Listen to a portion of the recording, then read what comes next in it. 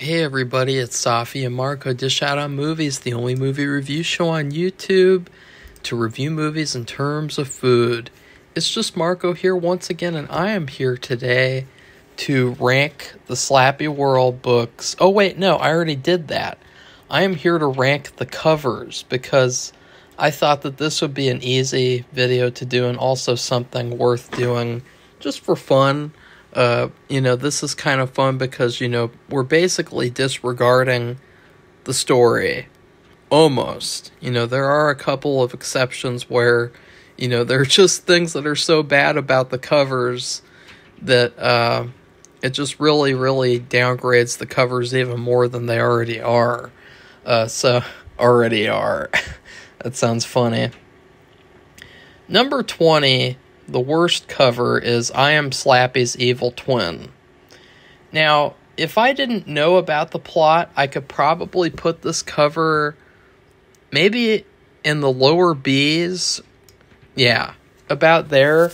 It is kind of a fun cover. I like the two dummies and I think that it's a, it's very colorful, but the one problem the biggest like fu about this cover is the fact that they couldn't even tell the artist that one of the dummy's eyes in this book is supposed to be brown, which is a big part of the plot.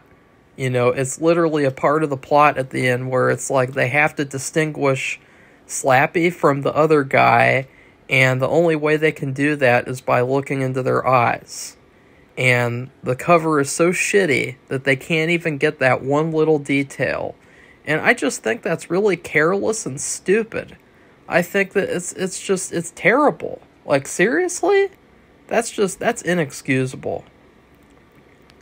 Number 19, this cover is is garbage.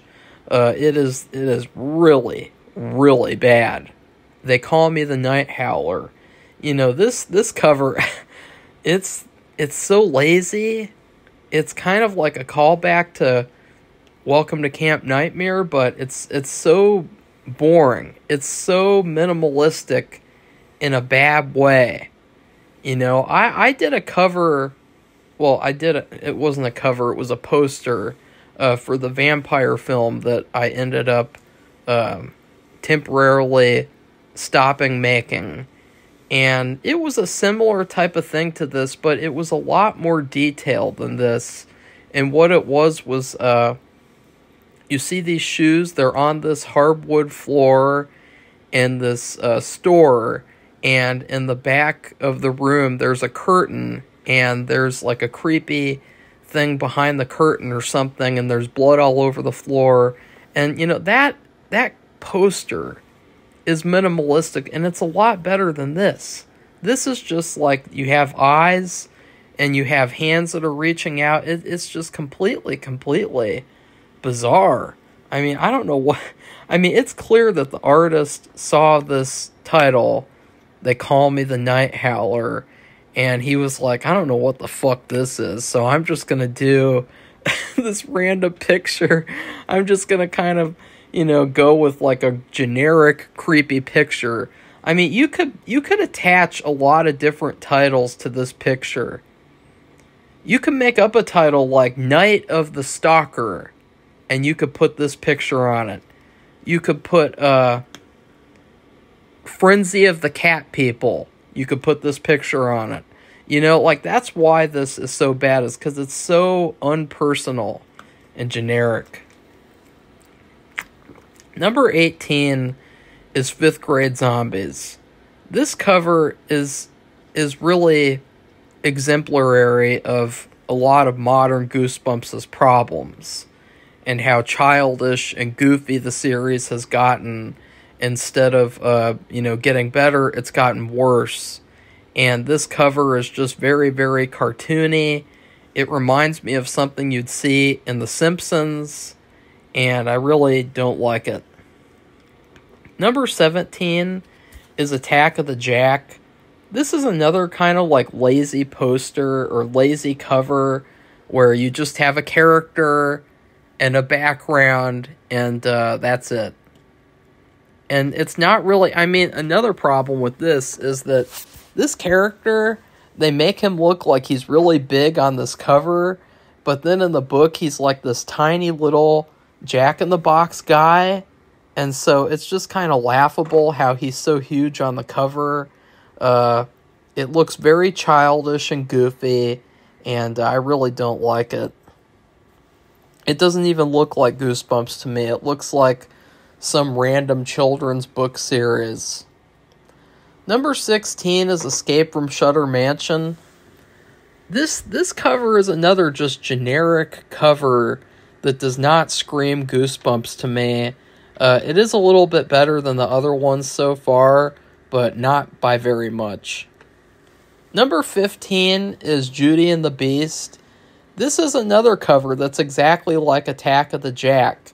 And it just shows that like you could really do this with any book title you could uh, have a character, have a themed background, and you could do it like this. Like it's it's it's like there's a template, and uh, they're just like copying from the same template. Being very lazy. Number 14 is Slappy Beware.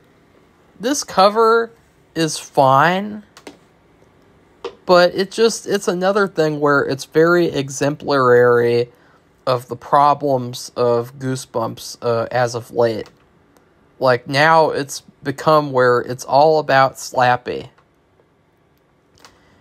And it's really not. Like Goosebumps, Slappy is just one little character in Goosebumps. He's not the main thing that people think about when they think about Goosebumps. I guarantee it.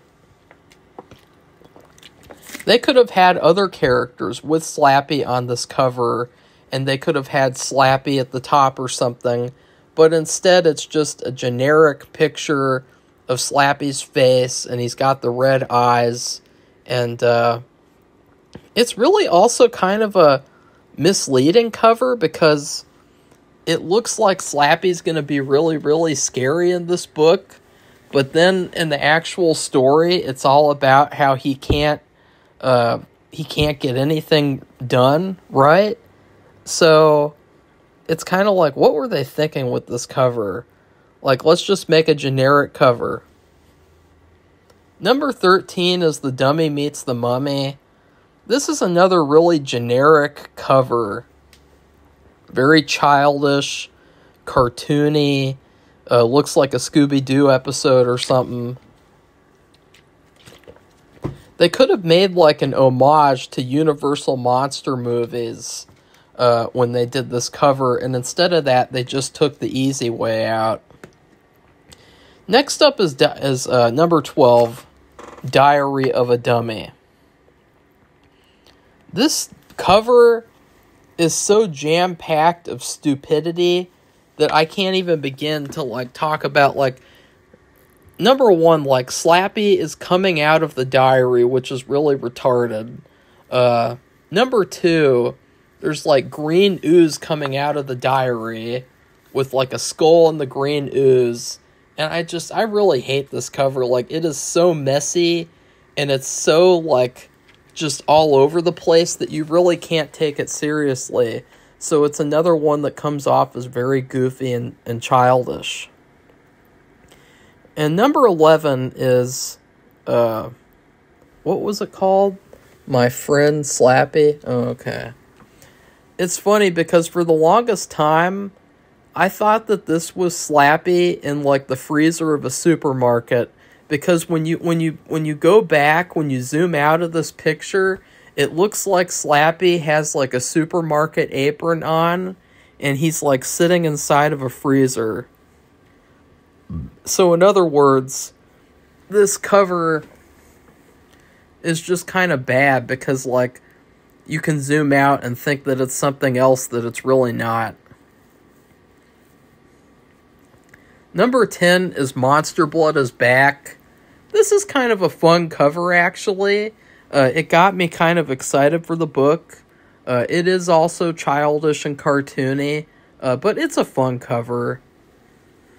Even though all these covers kind of suck in comparison to the original covers. Like I don't know, like it is such like a mind-boggling thing that they got rid of Tim Jacobus and they got like this person to do these generic covers.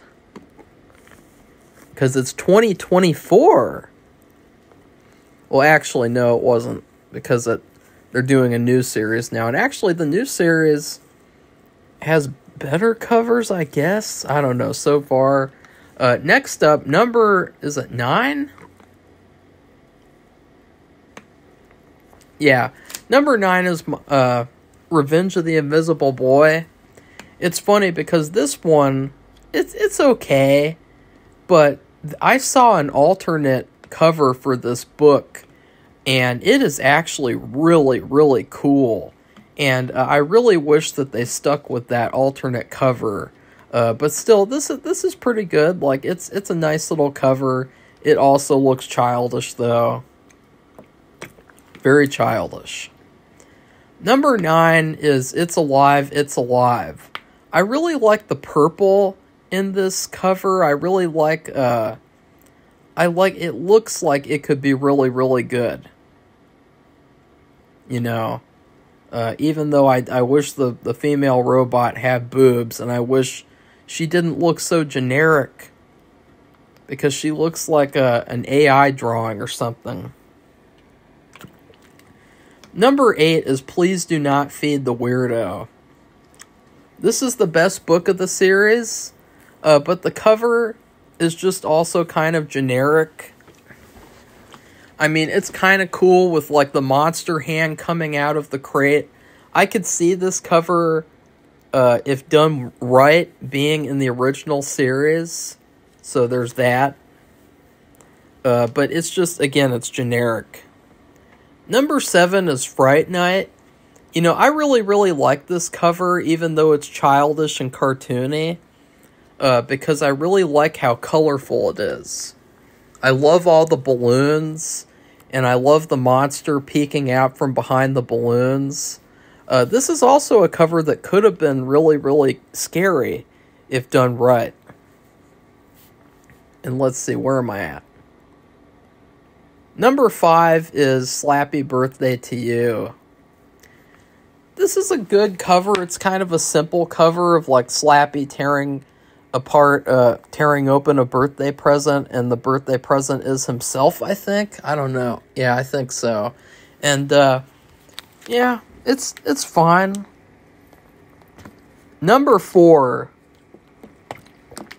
is The Ghost of Slappy. I think that Slappy looks really creepy in this cover. I really love the blue coloring in this uh, cover, and I think it's actually one of the better ones. Number three is Night of the Squawker. This cover looks really, really awesome. I mean, it's it's just a very colorful cover.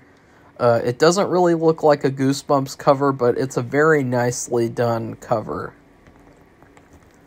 Number two is and you guys are going to laugh at this Haunting with the Stars. This cover is awesome.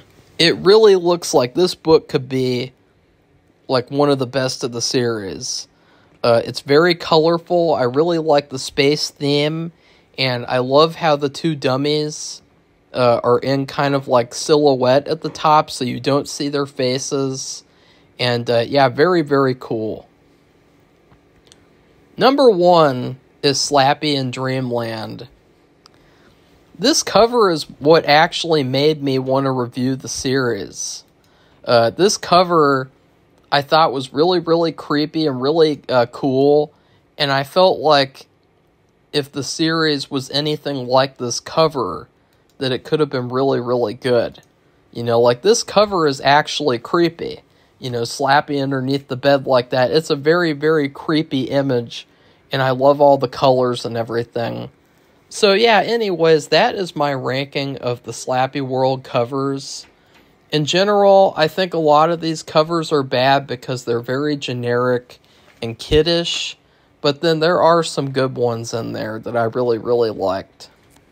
So, anyways, please like this video and comment and tell me would you like to see any other rankings for the Slappy World series? Because it would kind of be good to like not have to do very much of anything, you know, except for do, do like a ranking video. I don't know. I was thinking of like maybe ranking the villains. of Slappy World, if you guys would like to see that. Uh, or maybe ranking the main characters, even though that would be kind of uh, that would be kind of hilarious because they all kind of suck. And then please subscribe to our channel if you'd like to see more honest reviews. Goodbye, everybody. See you soon.